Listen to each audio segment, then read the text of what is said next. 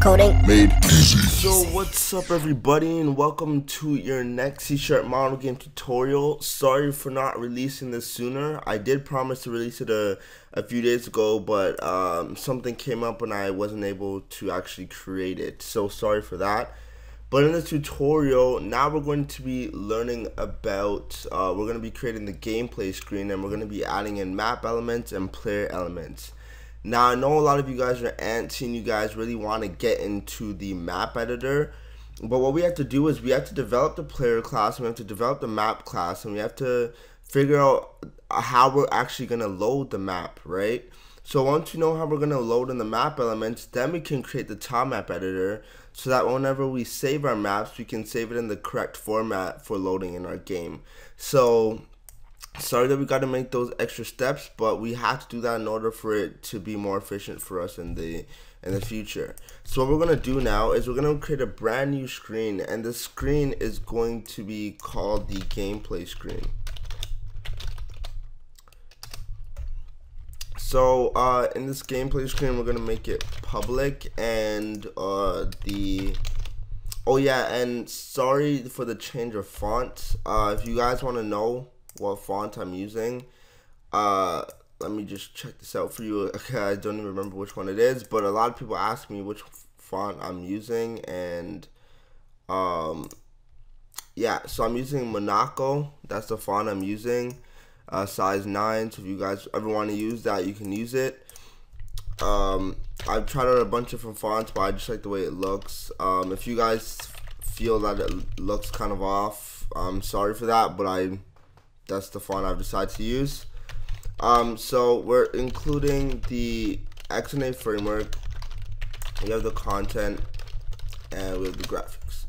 Okay, so we're gonna have to inherit from the game screen class, and uh, what we normally do, we're going to override each of the classes. So let's do that. And voila. So we got these stuff set up. The gameplay screen is just gonna run the gameplay. Um, it's not gonna do anything really special. It's not gonna really do anything until we actually incorporate a, a player class or something like that. So what we're gonna do is we're gonna we're gonna make a player class just because uh, it's fun when you have a player on the screen and you can move the player around and so on and so forth uh, for now, normally what I would do is I would create an entity class and then I'd inherit from the entity class and um, and so I'd have a player I'd have a player and an enemy class and they would both inherit from the entity class. But for now, we just want to get something on the screen. And so we can add in that functionality later. It'll be pretty easy to transition. And uh, I guess we'll have content in there and we'll have graphics. So we're gonna have the same classes that, the same method, sorry, that every other class has. So we have load content, uh, unload content, we have update, and we have draw. Now, before I continue, what I want you guys to do is if you guys want to pause the video now or, uh, yeah, I'll tell you to pause the video now just in case you uh, forget um, later on the tutorial, but there's two main types of movements in, in RPG games. There is uh, regular movement and there is uh, tile-based movement, like the time-based movement and tile-based movement. Whichever one you would like to do, um, just comment below. Tile based movement means that like you'll move like 32 by 32 pixels at a time and um, an example of that is say like a Pokemon game or something like that. Um, and freeform movement or time-based movement, whichever one you want to call it, is just like moving freely based on the speed that you set it at. Um, so that is up to you, whichever one you guys want to use. Um, another thing is that uh, when we were doing when we're doing mapping, I would just throw it out there. Somebody was saying that they wanted to learn isometric mapping. Um, I really wasn't planning on doing isometric, right? As I've never really delved into it all that much. But I I I will put that up for consideration. So if you guys want to do some isometric mapping rather than uh, regular, uh, rather than regular mapping, then just let me know that. I will see what I can do. I'll see if I can do it or if I can't do it or if it will be too complicated or not for me to teach. But just let me know whichever one you guys want and then I'll try my best to incorporate it. So anyways, to begin, the player dot load player load content. So uh, we can load all our player elements from a from an XML file if we want to. So that's what we will do. So what we want is we're gonna have an image. So for the player image, and um, you know what? That's all we'll have for now for our player. If I forget something, then then I will incorporate it later. Later, sorry um, we do want to, if we're doing, you, know what, we'll add this in right now. So we'll add in a vector 2 called velocity. And it will help out with the movement of the player and such like that, and especially for doing, uh, especially for doing tile-based movement, this is going to be an important factor right here. So once we load in our content, uh, there's nothing, nothing much we're gonna need to do. Right now, we're just to set our velocity equal to vector 2, 0. And in our unload content, we'll just make a call to image dot unload. And in our update method now, what we're going to do is we're actually going to take in some controls and so on and so forth and just move our player across the screen. So we're going to say if input instance equals key down, not key pressed, we want key down because we want it to be continuous. And before we even continue, we have to include the input framework, input class of the framework, input namespace, sorry, uh, the XNA framework. And so uh, we're gonna say whatever keys you want to use. So I'm just gonna use the arrow key. So if they press down, we're gonna say velocity dot y is equal to, and we don't even have a move speed. So we'll add in is we'll say public float move speed, and we'll say equal to move speed times float game time dot lapse game time total seconds, and we'll say else if they click keys up. Then we'll say velocity dot y equals to move speed times should be equal to negative move speed times float game time dot elapsed game time total seconds and this should be pretty straightforward for you if you don't find this straightforward then I would advise you to look at some of my previous tutorials I believe on moving sprites or whatever. I don't really remember what it's called, but um, I'd advise you to look at those and they should really help you out. So we'll see velocity, if they press the right arrow key, we'll say move speed times float. Game time, the elapsed game time at total seconds. Else if, input manager, key down, keys left. Velocity equals to negative move speed times float, and so on and so forth.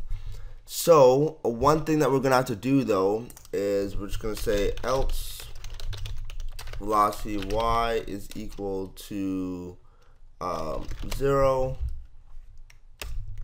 and we're gonna say if this should be changed to F. So with the way it stands now, um, we'll be able to do um, what's gonna happen is diagonal movement is gonna be incorporated if you don't want to do diagonal movement then uh, what we can do is add at the top right here we'll say if velocity dot x is equal to zero then we can do this and um, we don't want to put else if we want to put if so we'll say if velocity y is equal to 0, then voila. The reason why we don't want to put else if is going to say that if velocity x is equal to 0, it's going to do this. And we're going to say, but else if, else if it is, um, else if velocity is greater than 0, then it's going to run this. But if, um, with that being said, this function, th these, these, like these this code right here, sorry, this code right here won't ever ex execute because we need to execute this code in order to set a value for velocity. But if we never actually, if we say like else if velocity is greater than zero, or whatever, then we, or less than, or not equal to zero, whatever, this code is never going to execute. It's never going to execute because by default velocity is set to zero. Velocity x is set to zero. Or, yeah. So basically, um, that's how we have to do it in order to be able to execute both sides of the code. So what we're going to do is once that's done, we're going to say image dot position plus equals velocity. And uh, so that will add our velocity, our velocity to our position, and we'll be able to move across the screen. And then we'll just say image dot draw, and we'll draw that to the screen. So, with that being said, let us try and load that in. Well, first we have to actually make a an XML file. And uh, so I'm going to create a new folder. a new folder. And I'm just going to call it a gameplay folder. And let me just check how much time I have left. Okay. So we're going to add a new item uh, XML, and we'll just call it player player.xml. Add that in, and so we'll put player in there. We have our image. We'll set the path. Uh, the path for our image will be in. I guess we'll put in in a gameplay folder. Gameplay slash uh, player, something like that. Okay also, um, yeah, so we'll, we'll load the player image like so, and we need the move speed. So we'll say move speed. Did I spell it like that? Yep. So move speed is equal to, let's just say 100 for now, and last, well, velocity gets set to uh, default value, so we don't really have to worry about that. So we load in our image, we load in our move speed, and that should be pretty basic for now. So what we need to do is actually have a player image. So uh, I guess we'll just create one quite quickly. Okay, so I got the web browser open and we're just gonna say, we're gonna type in Famitsu Sprite Generator. And uh, this is just a quick sprite sheet generator so you can uh, create a sprite. Um, create whatever you want. I don't really care. I don't know, it's, it's taking long because of Camtasia, but whatever. Give him blue hair and you click download it and you want to download it to your project. So C sharp projects, um, there it is. The content, and I don't really have a gameplay folder yet. So what I'm gonna do right here, go back to here, add a folder, and we'll call it gameplay.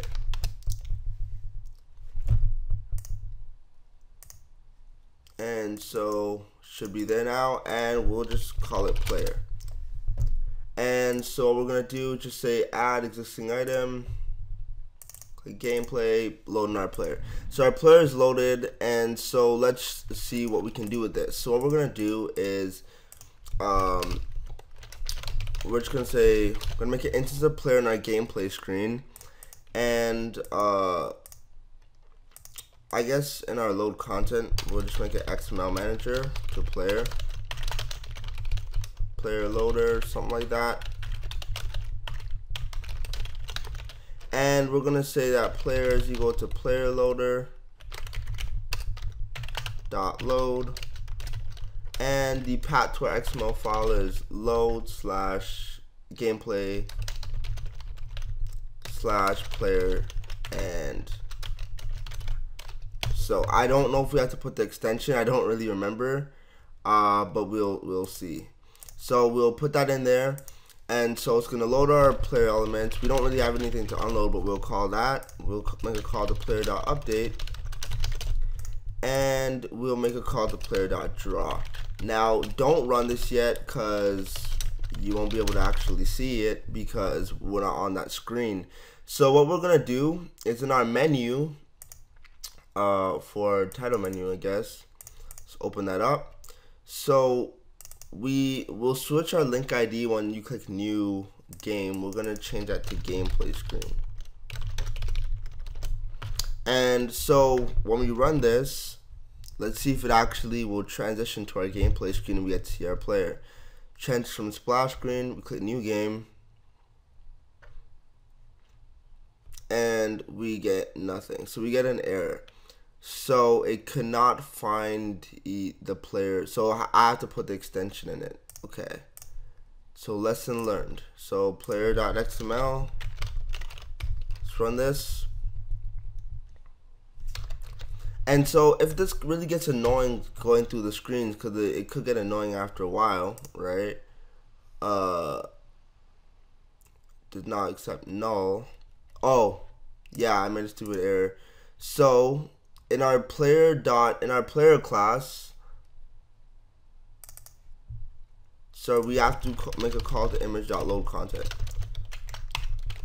And so like if that really gets annoying transitioning to the screens and stuff you want to go to your screen manager class and by default where do we yeah instead of changing it to splash screen setting it to splash screen we'll just change the gameplay screen so we'll run it right away for testing purposes and so it says there's an error in the documents and the oh because there's no document for our gameplay screen. So that is a yeah there's no document for our gameplay screen so that's a problem. So what we'll do uh what I'll do quickly is in here we'll just title screen. Because the way it's set up in our in our screen manager class it's set up so that it loads an XML file and so on and so forth. But uh, let's run this again.